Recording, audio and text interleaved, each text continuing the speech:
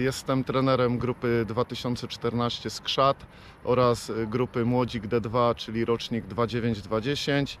Y, Grupa Skrzata jeszcze nie występuje w żadnych rozgrywkach. Gramy turnieje, gry kontrolne, mecze towarzyskie.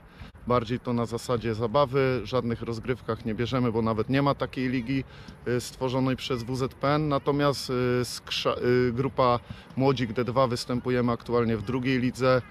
Jesteśmy liderami po dwóch kolejkach, mamy cztery punkty. No i, i liczymy, że awansujemy do pierwszej ligi. Wiemy doskonale, że Akademia Piłkarska Oborniki została stworzona jak gdyby przejmując e, dzieci z Orkanu i ze Sparty. E, Te dzieci, które są w Twojej drużynie, to właśnie są te dzieci? Y, Tak, tak. Generalnie to nawet nie tylko, jeżeli chodzi o grupę Młodzik D2, czyli tą, tą którą y, ta, ta reprezentacyjna, bo mamy dwie grupy w, te, w, te, y, w tym roczniku. Są to chłopcy, którzy przyszli do nas z Orkanu Obiezierze oraz Sparty Oborniki, ale nie tylko, bo są też chłopcy, którzy przybyli do nas z Akademii Rejsa oraz y, z LPFA z Obornik. Także tutaj w tym roczniku mamy kłopot bogactwa, nazwijmy to. Mamy kilku reprezentantów powiatu, mamy też chłopca, który y, już jest y, w kadrze Wielkopolski szerokiej. Także no tutaj ten rocznik naprawdę, naprawdę fajnie wygląda.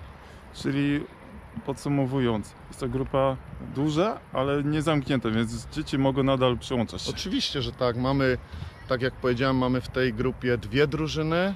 Jedna występuje w trzeciej lidze, druga występuje w drugiej lidze, ale z taką jakby y, dosyć mocnym, mocnymi możliwościami na awans i no, musieliśmy podzielić, bo ponieważ chłopców mieliśmy około 40, także wszystkich zmieścić w jednej drużynie nie miało sensu. Zrobiliśmy taką selekcję, nazwijmy to, no i pod kątem przede wszystkim umiejętności podzieliliśmy tą y, grupę na dwie drużyny.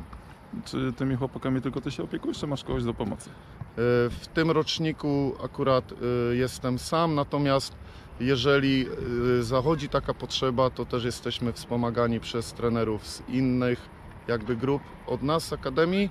Chłopcy znają trenerów, trenerzy też znają chłopców, także nie ma z tym problemu, jakby żeby wspomóc się asystentami z innych grup.